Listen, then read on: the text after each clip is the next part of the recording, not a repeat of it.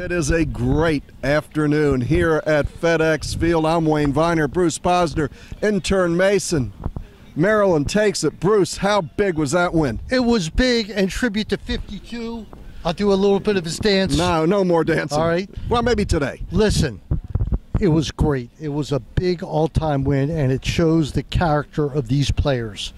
Matt Canada talked about it. Mm. And what about his innovative offense? And I asked him about the scripted first series. You did. That was unbelievable. He laughed. We make him laugh. We make him happy. Mason, you've loved this offense for years. Tell me how the Terps ended up taking down Texas today.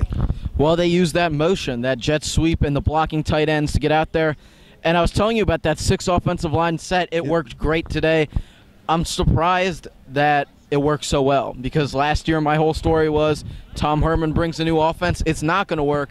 This year for the Terps, it was a different story. And finally, finally, praise whoever, whatever football gods decided that Maryland was going to finally line up under center.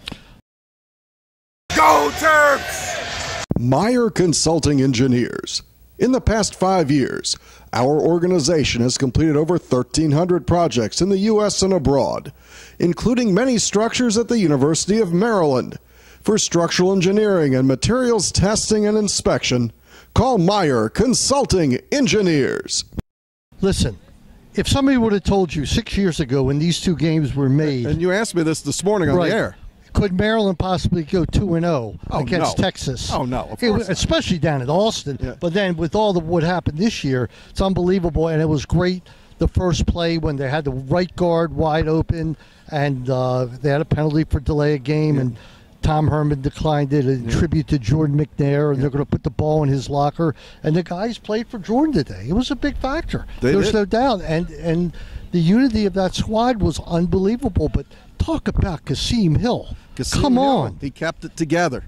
He, he made the plays, and even later in the game, he finally started to run the ball. He looked like Kasim Hill again. It took him, to me, about three quarters to start doing everything he was doing before. But he played against Texas last year. Maryland won. He played second game. Towson? Maryland won by a lot. He was. We were in the third game against UCF when he got injured. So this is his fourth game. Maryland wins again.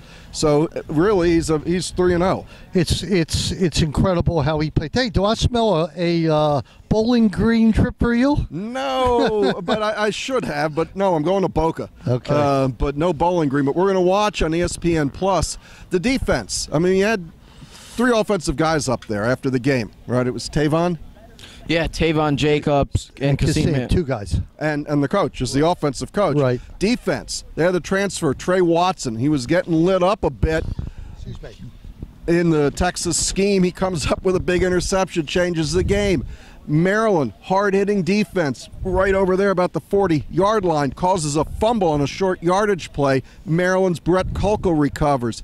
Game comes down the last minutes. Big And- interception. And it was Antoine- Antoine Brooks, number 25, gets that interception. He had a great game though. He got burned on a TD, but he had a great game. He did uh, at, the, at that end of the stadium. But Right. to, to be in here and you look across to Texas, and they brought a lot of people. And they brought their senior band and their 23rd. You go, could we do this again?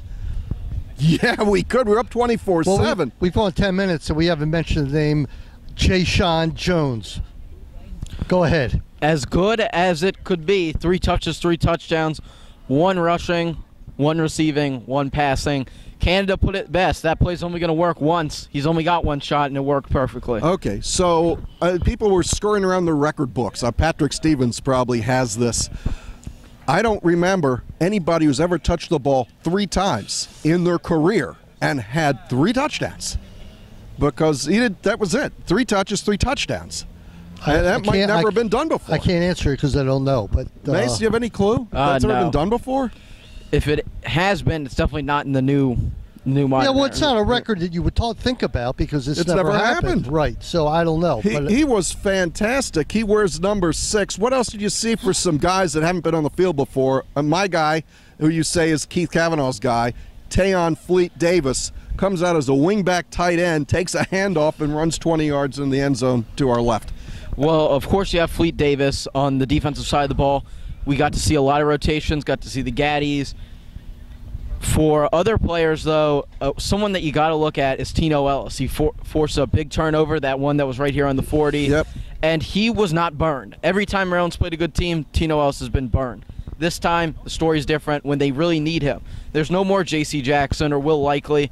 Now it's up to Tino Ellis Tino and Ellis. Lewis to make it happen, and- and, they did a decent job The today. Lewis from Florida State was on the field. Your guy, Rayshad Lewis, was on the field. He wears number 13 for Maryland.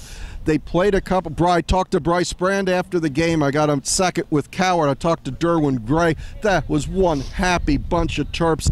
Bruce, we were sitting in the press conference after the game, and you said this has to be one of the biggest wins in uh, Maryland history, especially considering the circumstances, especially on opening day.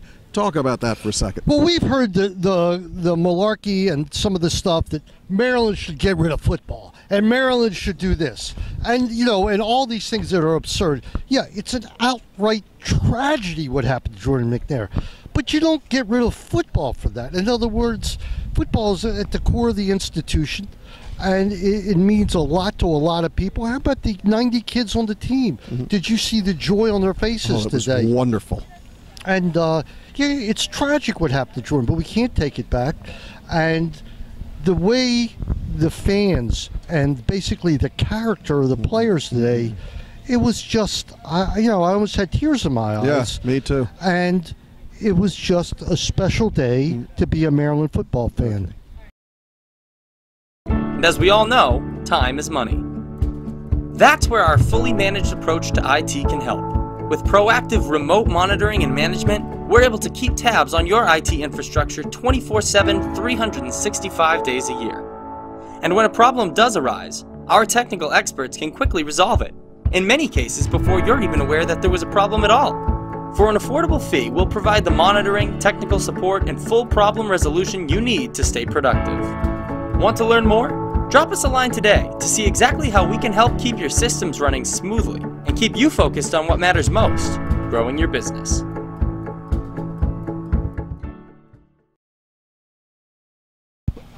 Before we go any further, we'd like to thank our growing list of sponsors.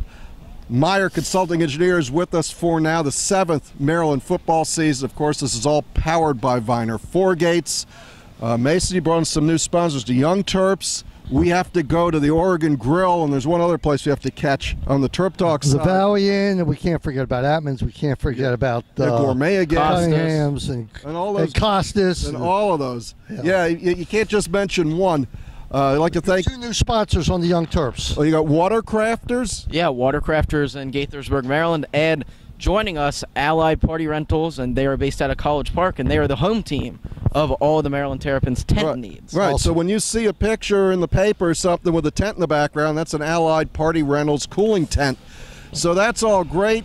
Um, coming up this week, of course, Wednesday night. Bruce might be a tennis guy, he might be a radio guy. We're not sure yet. But there will be Terp Talk no matter what. Turf and Talk, uh, 1300 CBS Sports Radio. Uh, Mason, you have some special guests for your Sunday wrap-up show. That's going to recap this game. Who do you have?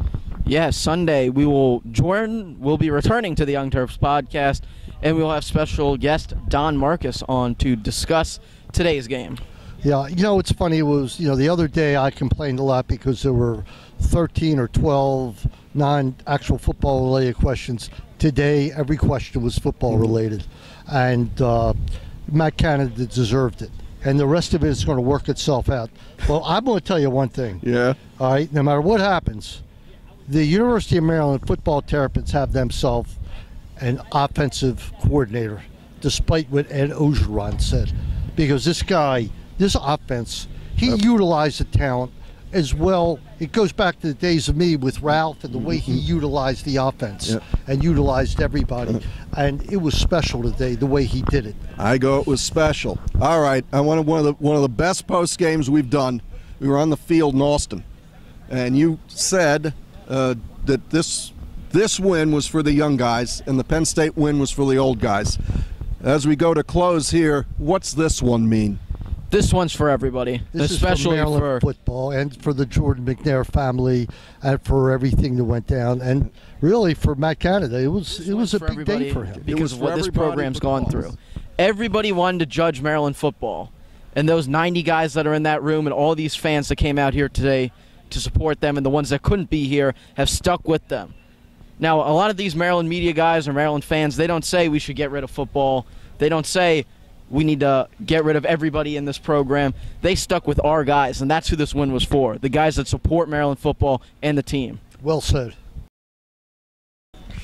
For the old Terps, Bruce Posner and Wayne Viner, and the young Terp, intern Mason. This has been the Terp Talk postgame, a victorious one after the win over Texas, 34-29.